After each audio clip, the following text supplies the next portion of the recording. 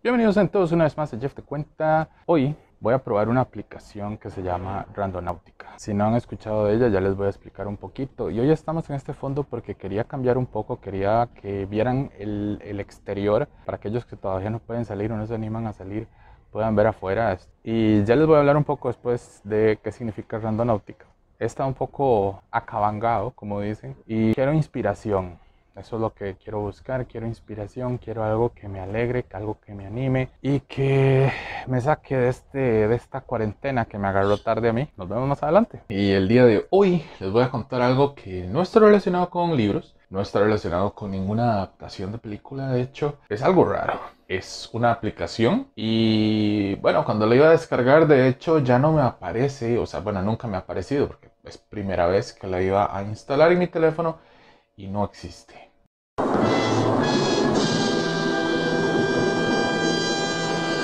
Me dice que no se puede encontrar. Ya por ahí las cosas pues se ponen bastante raras. Hoy les vengo a hablar de Randonáutica.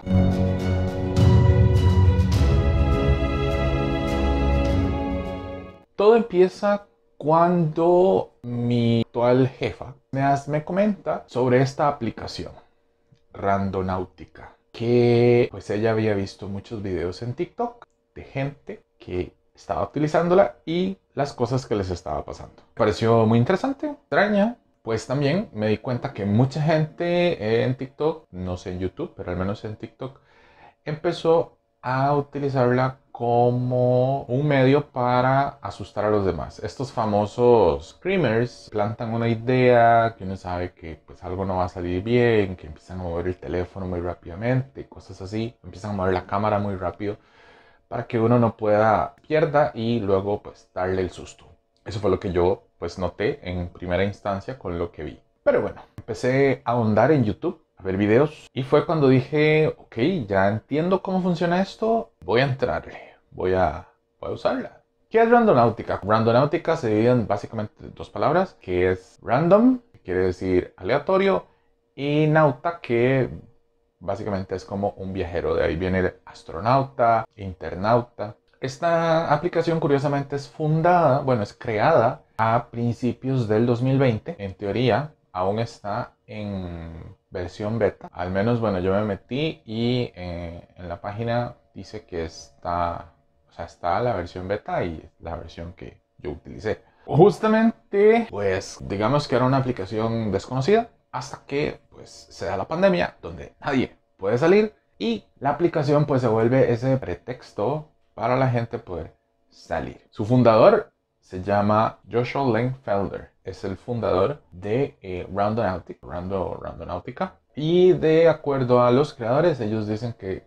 la aplicación es un atractor de cosas extrañas. Eso no quiere decir que todo sea malo. Simplemente va a depender mucho. Les comento que hay tres tipos de cosas que se pueden buscar. Los atractores, mencionaron sus creadores, que son lugares con muchos puntos cuánticos los vacíos son lo contrario, los atractores, o sea, quiere decir que tienen muy pocos puntos cuánticos y las anomalías, que contienen ambos. Es como una combinación de un atractor y un vacío. Curiosamente, eso es lo que uno adapta de la aplicación, pero hay un, un elemento que no está dentro de la parte electrónica.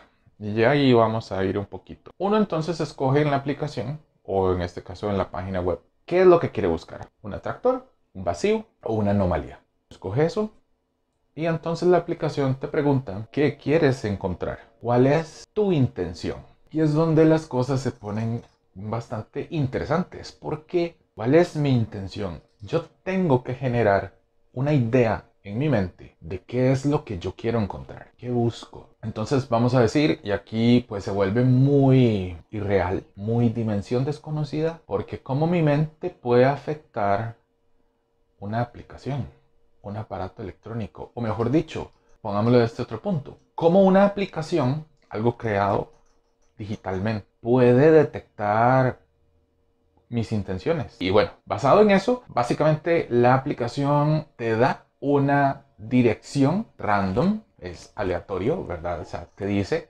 basado en tu intención, tienes que ir aquí. La aplicación inicialmente, cuando yo lo puse, buscaba algo que me diera energía, que me diera inspiración, porque creo que me agarró un poco tarde. Mencionaba yo que estaba eh, como en un bajón y no tenía ganas de hacer nada. Y estoy como un... Y por eso es que pues tampoco subí muchos videos al canal. Pero ya vamos, vamos de vuelta creo. Mi intención era eso, encontrar algo inspirador, encontrar algo que me llenara de energía, que me trajera de vuelta. Pongo la, la aplicación y bueno, inicialmente pues hubo un fallo porque me dio una dirección de bastante lejos y en un lugar que aunque no lo conozco, no he pasado por ahí caminando, básicamente, he pasado en, carro. No me agrada el lugar. No es un lugar bonito. Entonces dije, mm, ok, no. Eh, le dije a la aplicación que no fui. O sea, porque él te pregunta, ¿fuiste al lugar? Le puse que no. Y me dice, ¿quieres eh, reevaluar tu configuración? Te permite ingresar a la configuración y puedes reducir eh, la cantidad de, de la distancia. Entonces le puse máximo un kilómetro. No quería pues tener que caminar mucho porque tengo vehículo, así que todo lo iba a hacer a pie. Cuando, bueno, le pongo un kilómetro y le vuelvo a decir, no le digo, sino que lo pienso y lo siento, quiero algo inspirador, quiero guía, lo marco, ya me da una nueva dirección y me enrumbo hacia ese lugar. Entonces por aquí tengo un videito, voy a poner, donde eh, llego al lugar llegamos, este es el lugar, al parecer está dentro de este edificio, cosa que no puedo entrar según las leyes obviamente y también lo que la aeronáutica pide. Estoy súper cerca pero no logro cruzar la calle. Va en todos los sentidos. Y básicamente aquí pues me llevó a una fábrica. No sé de qué es, por cierto, no he averiguado. Voy a buscarlo en Maps, poder decirles, y lo pongo por acá abajo, qué fábrica es. Curiosamente, el punto exacto que me marcaba donde me decía, has llegado a tu destino, había una pareja sentada tomando una coca y comiéndose unas cosas. Y, yo me quedé así como, ok, no me puedo quedar ahí porque está raro, ¿verdad? estaba la pareja ahí muy, muy, pues muy a, sus anchas como para yo llegar y, pararme a la par de ellos y, y, así como, hey, miren, este, este, es que yo vengo buscando aquí energía, algo que me inspire. Como que no, ¿verdad? La fábrica estaba cerrada, por supuesto, pero era adentro. Ah, bueno, estaba buscando un atractor, o sea que hay muchos puntos cuánticos. Y de acuerdo a matemáticas, un atractor es esto. Les voy a poner esta imagen por acá. Creo que sí, sería de este lado. Esto sería un atractor. Es algo como que está confluyendo constantemente. Dije, ok, no puedo entrar, así que no puedo terminar de vivir la experiencia. No sé si tal vez donde estaba la pareja realmente era algo, si algo se encontraba en ese lugar. Así que dije, ok, bueno, no, no puedo pongamos otro punto, pero esta vez dije, que tal vez algo inspirador y que me dé energía va a estar un poco más complicado y dije, vamos con algo más sencillo, que también he estado, eh, pues como les digo, en mi investigación, decía que a veces es más fácil pues empezar con cosas más específicas. Así que pensé en un color y dije morado y vamos a ver a dónde me lleva. Esta vez escogí una anomalía, básicamente entonces una fusión, una mezcla de un atractor y un vacío. Una anomalía que podemos también decir que es un error en la Matrix. Para todos aquellos que han visto Matrix o no tienen idea de qué es Matrix, pues es eso, básicamente es algo fuera de lo normal, algo que no debería estar ahí, algo que usualmente no pasaría. Bueno, me da el lugar. Ya sabía más o menos porque ya eh, había pasado por ahí hace mucho tiempo. Y dije, ok, ya sé dónde es, vamos a ir. Y de hecho me quedaba cerca de donde estaba en ese momento.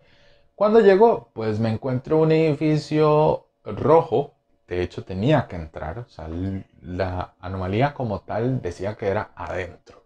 Y yo, vamos, que no puedo entrar. Claro que sí había... nos voy a decir que es un, era un edificio totalmente rojo eh, está totalmente abandonado, tiene unas puertas y una de las puertas, vamos a ver si, si, lo puedo hacer, digamos que esta es la puerta, esta es la parte de abajo, ¿verdad? Estaba así, o sea que por ahí uno podía entrar, digamos. Y justamente en esa, por esa ranura que cabe una persona perfectamente, pues yo sí pude ver mucha basura, muchas cosas tiradas, así que muy posiblemente personas que viven en la calle Mm, se meten ahí supongo cuando llueve o cosas así. El lugar pues no me daba muy buena pinta como para estar de noche. O sea, son esos lugares que uno dice, "Mm, por aquí de día sí, pero de noche mm, mm, mm, mm, mm, mm. no voy a ir, voy a, voy a buscar otra locación. Y en eso que doy pasos para irme, pues topo una señora que venía caminando, ¿verdad? Con una blusa morada. Y yo dije, opa, opa. Yo estaba pensando en el morado y ya les digo, era un edificio rojo, no había nada. O sea, y al otro lado era una plaza, una plaza. Y yo dije, pero ¿dónde está el color morado? Aquí no hay nada morado. Cuando ya me está yendo, eso que les digo, me topo a esta señora, la veo con una blusa morada y yo, ok, ok, sí, está bien. Entonces yo me quedo viendo a la señora donde se va caminando y yo dándole vueltas al asunto. Y entonces en eso que yo estoy, la estoy viendo donde ella va, en la esquina contraria, vamos a decir, ¿verdad? De la calle, esquina contraria, dobla un señor, un señor que viene caminando, o sea, la señora iba hacia allá y el señor, justo cuando ella llega a la esquina, ni siquiera se dice, cuando la señora llega a la esquina para doblar, dobla un señor también con una camisa morada. Y yo dije, ok, ok, pensé en el morado y me estoy topando dos personas caminando en sentido contrario con ropa morada. ¿Coincidencia? Puede ser, pero ahí viene lo interesante de la aplicación.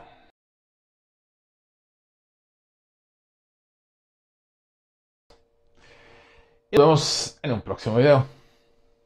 Hasta luego.